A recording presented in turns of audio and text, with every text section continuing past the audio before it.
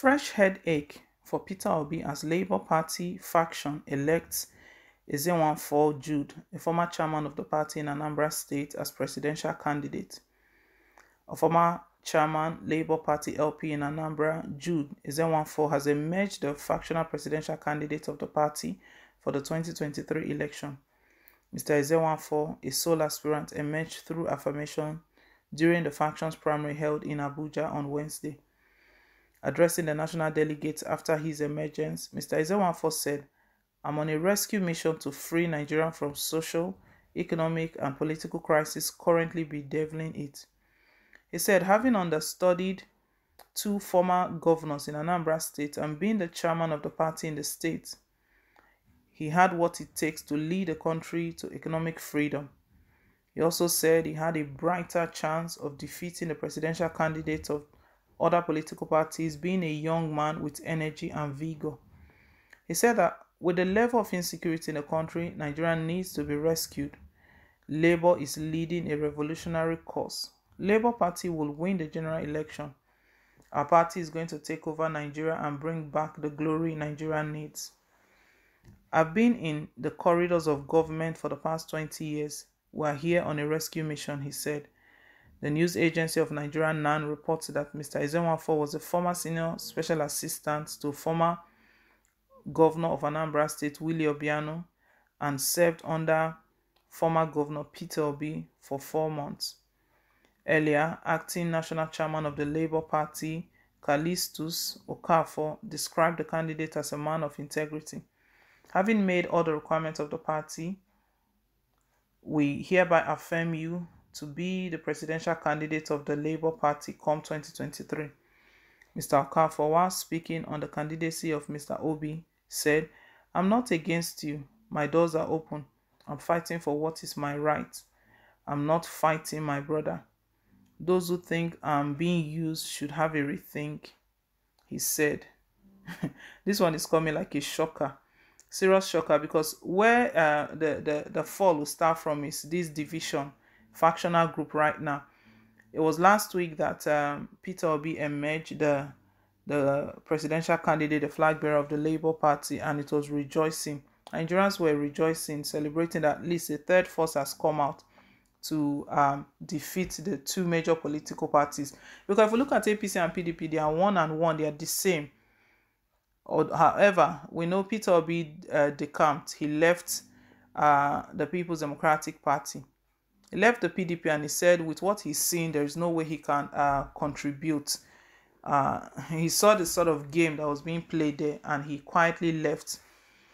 And the thing is that he didn't go to APC because uh, reactions were like, if he had gone to APC, we would know that um, he has other plans. It's just personal interest because politics in Nigeria is all personal interest. But he went to the Labour Party and for that, he was commended at least you didn't go to APC because APC and PDP, they are one, they are the same. They are the same. If you look at the two parties, there is no one that have not been through. Even Atiku Abubakar was once in APC, now he's in PDP. He's gone back and forth. They've all gone back and forth. It's only a few of them. You know, like Wike, Nyesom Wike, the governor of River State, he's been boasting with that. There is one person that has not moved, unlike the other ones. They've been moving back and forth, all for their personal uh, interest and personal ambition. Once they see that things are not going their way not really because of the people not because they are fighting change not because they really want to um, make a difference but just for their personal interest.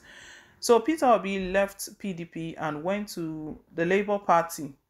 He won the ticket and everyone was excited but this one is coming as a shocker as a faction group has just um, risen conducted their own primary and elected Ezenwafo Jude as the presidential candidate of the party. So technically there are two candidates. I don't know how this will work out. They will now have to go to court. Distractions here and there because Nigerians are already hoping that this is the party that will bring the change, you know.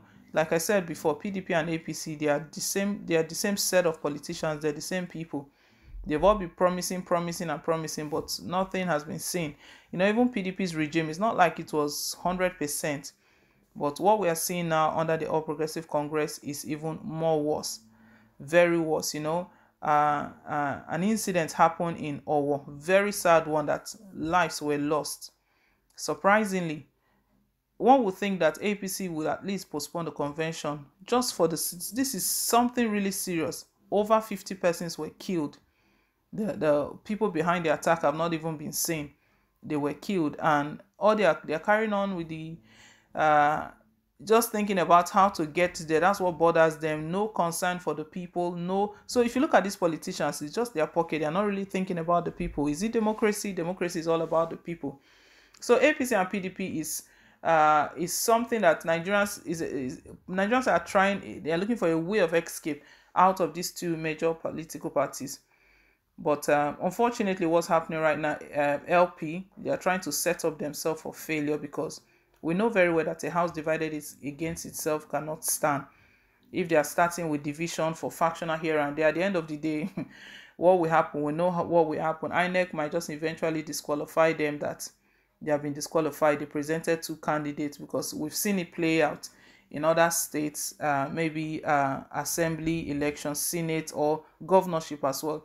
Once there are issues here and there that are not resolved, INEC will just disqualify the party, that that party has been disqualified. And what is the chance of LP uh, producing a presidential candidate? It's really, really sad. I don't know what is going on, if this is a setup or if it's a game plan, uh, because this faction did not do anything, didn't say anything up till now uh, that um, they are coming up with this. Nigerians are already reacting. It's coming as a shock. Someone is saying, like, seriously, is this really happening? Another person, early failure. You see what I said? It's early failure because if you're already fighting yourself, how are you going to go out there? You're supposed to be united, working together. If you really want to be the third force, you're talking about the third force to defeat the ruling uh, All Progressive Congress and the main opposition's People's Democratic Party, then you have to be united but early failure, like this person said. Another one said, um, so uh, a house divided against itself cannot stand. Go and learn politicking from the Hausa and Fulani. This what this person is referring to, you know, the North, they will never betray themselves. Once they stand for something, they support it. Once they, they, they, they speak one thing, they speak with one voice, and they go ahead with this. They go ahead with it. Someone says uh, Bola Ahmed Tinubu trying to destroy his strongest opposition before the fight even begins. Someone is thinking now that uh, it looks like it's Bola Ahmed that is behind all of this. Well, we can't confirm that if it's Bola Tinubu, that's just that person's um, speculating and insinuating that it's possible that it's Bola Tinubu, but that cannot be confirmed. Another one says, if this is true, then I will not and will never advise anyone to vote. Nigeria is completely destroyed. It's a serious case. Well, guys, leave us your own take. Thank you once again for staying tuned. And please don't forget to like, share, and to subscribe till I come your way again more updates. Bye.